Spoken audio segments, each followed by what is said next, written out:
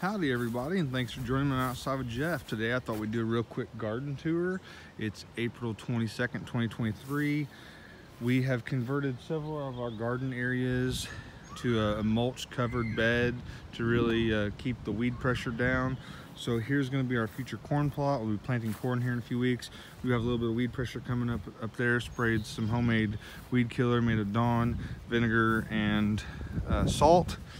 And here we have some cauliflower and some cabbage plants. We just planted those about four days ago and put some organic fertilizer at the time of planting. We have volunteer spinach plant.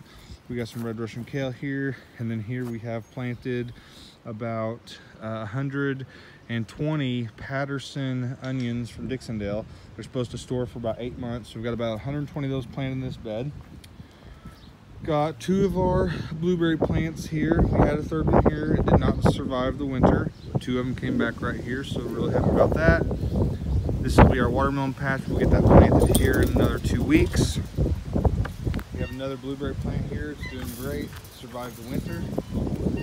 And here we have in this bed, we have red Russian kale. These first three rows, I just planted Swiss chard in this row just planted Swiss chard here. We have some dinosaur kale and three more rows of Swiss chard here.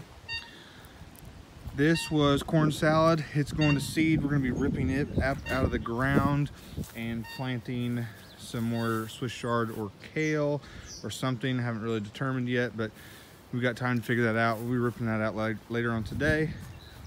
So far, I'm not 100% come to a conclusion on if I like this mulch thing or not but I did not incorporate into the soil.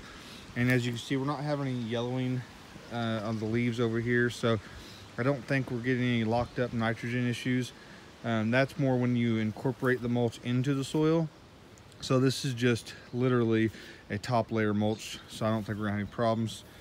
Got blueberry plant here, a little bit of growth here, looking good, looking great, looking great. That one didn't make it. This one didn't make it, and this one's doing great. So I think we lost about three blueberry plants. Don't have anything planted in tires yet. That'll come later on down the line. I've already worked up this soil, so I'm not doing the mulch on everything. I've got this worked up, and as you can see, um, got tomato cages out. Under those uh, buckets, or those milk crates rather, I have some tomatoes planted. Got some more Patterson onions over here in our um, in our far south bed. Uh, actually, no, that would be our far west bed, sorry. Uh, I've got another 40 or so onions here, so we have about 160 onions planted in total. And then here, the dark areas, I planted some contender bush beans earlier today. I've got five rows of those planted.